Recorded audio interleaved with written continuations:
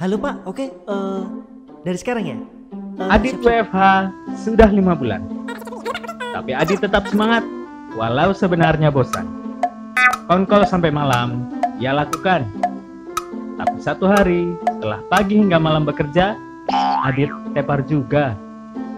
Sudah tinggal sendiri, jomblo pula.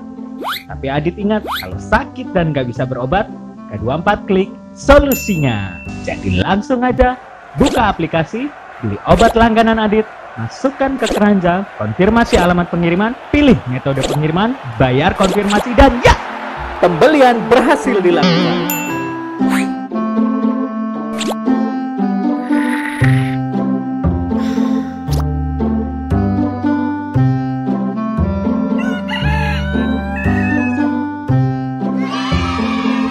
Beli obat cuma 10 detik.